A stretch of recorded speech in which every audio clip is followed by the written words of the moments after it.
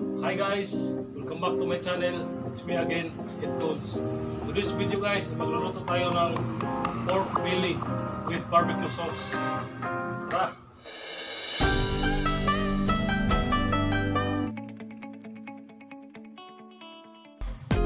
So hiwain muna natin to, itong ating pork guys. Yan, dahan-dahan lang.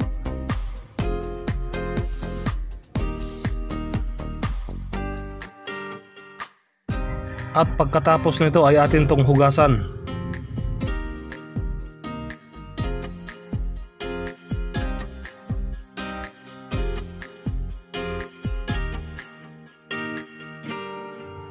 Dalawang bisis natin to hugasan guys para sigurado tayong maging malinis talaga tong ating pork.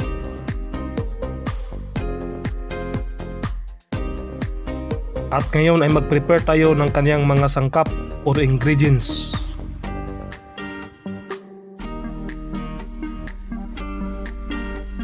So ito yung mga ingredients niya guys. Nakapag-prepare na tayo. Tara, luto na tayo guys.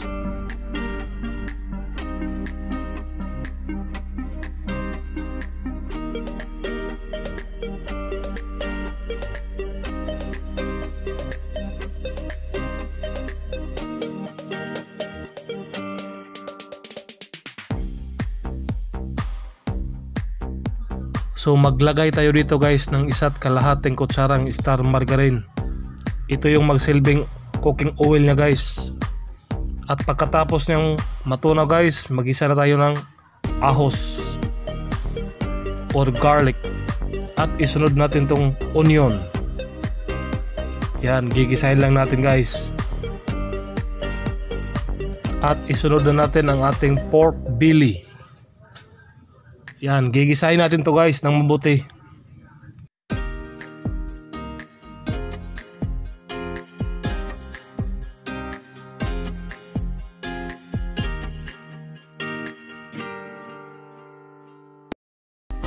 So hintayin lang natin guys na lumabas yung sarili niyang mantika. Ito na siya guys. At pag once lumabas ng kanyang mantika, lagyan natin to ng calamansi juice 3 tablespoon. At pagkatapos natin siya lagyan ng calamansi juice lagyan natin to ngayon ng tatlong basong tubig or water. At lagyan din na ng dalawang pork cubes. At lagyan din natin guys ng bay leaves tatlong dahon at takpan natin ng mga 15 minutes. Pakukuluan natin guys. Titing natin mamaya. So shout out muna tayo guys. So shout out kay Kent Darasin. Youtuber to guys. Kaibigan ko to. I-follow nito. Kent Darasin. Neil Bryan Casimina Flauta. Kaloy Hael Udtuzan Kandawan. Jeff Vanje University lecturer to guys ng Saudi Arabia. Jeep uh, Christine B. Bermoy, Robert Lee, Lizel Duaso, Harold Labrador Dolira, Zilio Gopio, Rosemary Canson, Rohilia Ipil, Jeneline Casinaris Ramis, Waki Dalagon, Vinci Lawig. Guys, maraming salamat talaga sa pag-support nyo sa aking channel. God bless po. At makalipas ang 15 minutos guys, tingnan natin. Ito na siya guys. So sa puntong ito guys, ilagyan na natin to ng ating iba pang mga ingredients. So ilagay na natin tong ating 3 tablespoon of brown sugar. Black pepper. Yan. At ang tomato sauce. Grabing sarap nito guys. At ang oyster sauce. At pagkatapos nating lagyan to, ay paghalo-haloin natin to ng mabuti.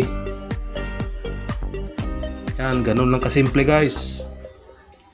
At takpan natin to guys ng 15 to 20 minutes hanggang sa tuluyan na itong lumambot ang ating pork. At makalipas ang 15 to 20 minutes guys, tingnan nyo, wow, grabe. Nag-uumapaw sa sarap. Ito na siya guys. Pwede na itong iserve guys.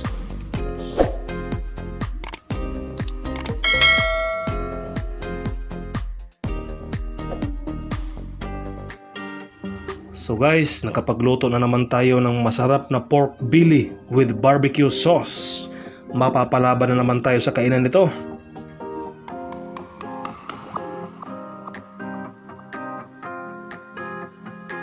So dumating na naman tayo sa punto ng tikiman time guys. Ang pinakaiintay kong moment. So tikman na natin to guys.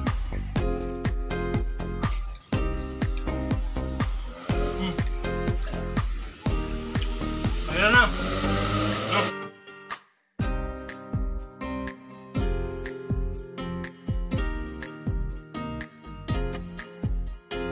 Guys, kung nagustuhan nyo ang video na ito, ay huwag kalimutang mag-like, share, and subscribe at pakihit na rin yung notification bell. Hanggang sa muli guys, maraming salamat sa panonood. Bye-bye!